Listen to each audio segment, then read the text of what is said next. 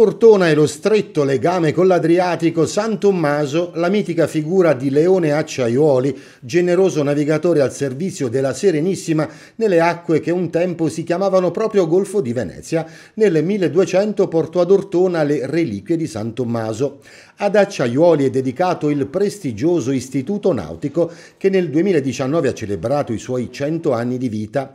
Era il 6 febbraio 1919 quando il Consiglio Comunale approvò approvò la delibera con cui si dava vita ad una scuola chiamata a formare uomini di mare preparati e competenti.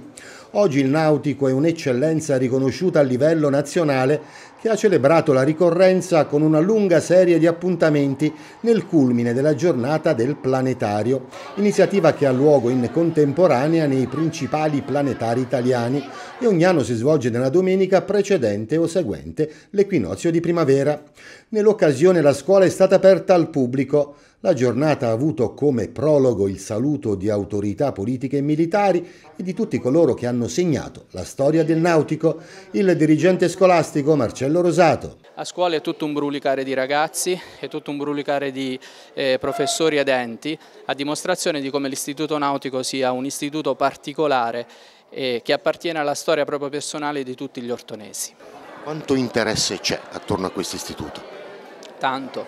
Io sono quattro anni che sono dirigente scolastico, il primo anno solo del nautico, a partire dal secondo anno c'è stato il dimensionamento con altri due istituti superiori, quindi è diventato Acciaioli Naudi e io posso dire che c'è stata un'escalation di iscrizioni, quindi questo è un, è un, dato oggettivo, significa che tante famiglie eh, accettano la nostra offerta formativa. L'acciaiuoli rappresenta un insostituibile riferimento culturale e offre agli studenti un alto livello di preparazione scientifica e tecnologica attestato dal successo conseguito dagli allievi sia in campo universitario che in quello professionale. In una domenica speciale in molti sono stati coinvolti dall'entusiasmo collettivo di allievi e professori alle prese con decine di laboratori e dimostrazioni pratiche. Sempre bello ammirare la volta celeste sotto la cupola del planetario.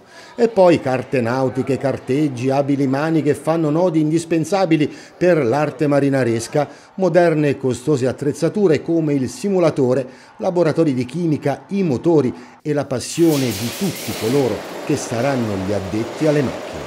L'Istituto Nautico Acciaiuoli è davvero la compressione di conoscenze millenarie nel filo comune della passione dell'andar per mare. Alessandra, cosa significa essere capo planetario? Beh, significa innanzitutto saper organizzare delle persone, dei ragazzi, quindi istruire, insegnare ai ragazzi più piccoli ciò che a me hanno insegnato altri ragazzi in altre generazioni, quindi diciamo che questa è una tradizione del nautico che pian piano noi tramandiamo e cerchiamo di esporre in questa giornata del planetario. Stiamo imbarcando uno yacht di lunghezza 85 metri e in questo porto ci troviamo a New York Stiamo facendo l'ingresso nel porto di New York e stiamo cercando di entrare senza creare incidenti giustamente e in seguito proveremo anche l'attracco. Rispecchia quello che faremo poi in un futuro con il nostro lavoro e logicamente facciamo prima teoria e poi pratica giù in porto con la nostra nave scuola San Tommaso.